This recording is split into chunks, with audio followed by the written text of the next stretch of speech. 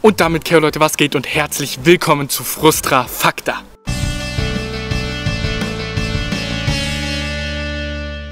Das Format, bei dem ich euch unnütze, aber interessante Gaming-Fakten liefere und ihr ganz bestimmt was fürs Leben lernt.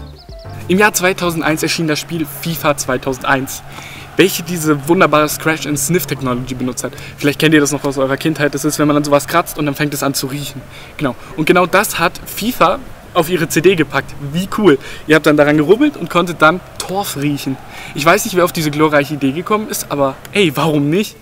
Einmal bitte was Gutes. Sie wollen also was Gutes?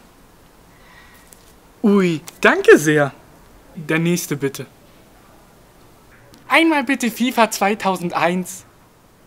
Natürlich habe ich das da. Ui, danke schön.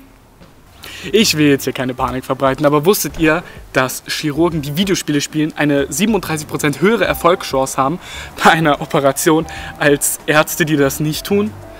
Also falls ihr das nächste Mal zum Chirurgen müsst, würde ich auf jeden Fall nachfragen, ob er das die ein oder andere Runde Angry Birds gespielt hat. Herr Doktor, Herr Doktor, der Patient, er stirbt gleich.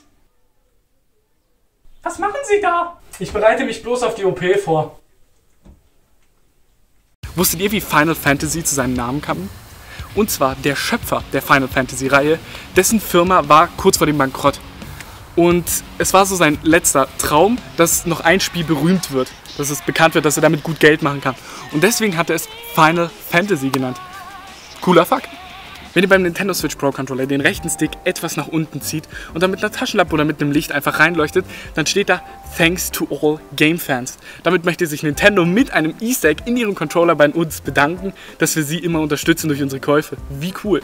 Sonic the Hedgehog, unser allseits beliebte blaue Igel, der mittlerweile auch schon zwei Filme bekommen hat, kann nicht schwimmen. Das liegt daran, weil ein Entwickler meinte, yo, Igel können nicht schwimmen. Und so wurde das dann auch ins Spiel programmiert, damit der Igel relativ realitätsnah ist.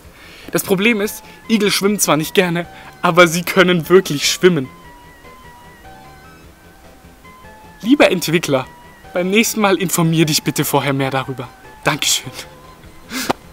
Das RPG The Elder Scrolls 4 Oblivion wurde in ziemlich viele Sprachen übersetzt, unter anderem auch in Spanisch.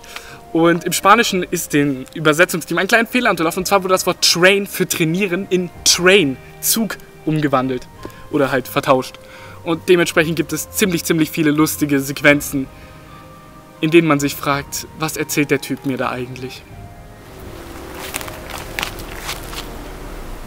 Ah, hallo, tapferer Reisender. Du bist bestimmt hier, um das Dunkle zu besiegen. Wir sollten vorher aber auf jeden Fall noch hart Zug fahren. Hart Zug fahren ist wichtig für den Muskelaufbau. Hast du Lust, hart Zug zu fahren? Nope. Wisst ihr noch, was im Jahr 2009 war? Richtig, die Schweinegrippe. Und zu der Zeit hat das Angry Birds Team gerade das erste Angry Birds entwickelt und man brauchte noch Gegner fürs Spiel. Und anhand dessen, dass gerade Schweinegrippe war und das ein bisschen makaber ist, wurden tatsächlich Schweine in das Spiel als Gegner einprogrammiert. Zu Verkaufsstart war die PlayStation 2 der günstigste DVD-Player in Japan, den ihr bekommen konntet. Achso, ja, das, das, das war schon der Fakt, ja. Entschuldigung, könnten Sie mir bei einem Produktkauf helfen? Natürlich kann ich Ihnen helfen. Was hätten Sie denn gerne? Ich hätte bitte gerne den günstigsten DVD-Player. Ah, da habe ich was Passendes für Sie. Ganz exquisit. Eine der Assassinen in Assassin's Creed 3 ist ein Truthahn. Durch Pfeifen könnt ihr ihn anlocken und dann mit Hilfe dieses heiligen Konami-Codes bekommt er eine Kapuze und wird Teil der Bruderschaft. Cool. Tatsächlich ist jeder Zehnte der Generation 65 plus leidenschaftlicher Gamer. Jetzt nicht leidenschaftlich, aber jeder davon spielt ab und zu Videospiele. Also hört euch auf jeden Fall mal bei euren Großeltern um, ob diese vielleicht nicht auch schon in ihrer Kindheit Mario Brothers gespielt haben oder so. Wer weiß. Opa? Ja, Was machst du? ich arbeite. Für wen? Äh, für Fortnite. Faktensturm. Die Sportschau berichtet, dass Deutschland doppelt so viele Gamer wie Autofahrer hat. Es gibt tatsächlich mehr als 2,5 Milliarden Gamer auf der Welt. Beim allerersten Super Mario Bros. sind Büsche und Wolken eigentlich exakt das gleiche, nur mit unterschiedlichen Farben. Ursprünglich sollte Spyro, der Drache von PlayStation 1, eigentlich grün sein. Damit er sich aber mehr von der Umgebung unterscheiden konnte, hat man ihn lila gemacht. Das Spiel The Legend of Zelda für das NES war tatsächlich das erste Spiel, was auf seinem Modul eine kleine Batterie besaß, um den Spielfortschritt zu speichern. Smash Bros. sollte eigentlich ursprünglich gar keine Nintendo-Charaktere beinhalten, sondern Dragon King Fighting Game heißen. Tetris und seine Varianten sind fast für jede Konsole, die es zurzeit gibt, rausgekommen. Die Musik im originalen Doom wurde von den Bands Metallica und ACDC inspiriert. Das meistverkaufte Videospiel der Welt ist Wii Sports mit 82,5 Millionen verkauften Einheiten. Und zu guter Letzt der klassische graue Gameboy. Den, den wir safe alle schon mal gesehen haben, wurde im goldenen Schnitt designt. Falls ihr keine Ahnung habt, was das ist, lest euch in Mathe rein, googelt mal danach. Und damit sind wir leider auch schon wieder am Ende der heutigen Folge.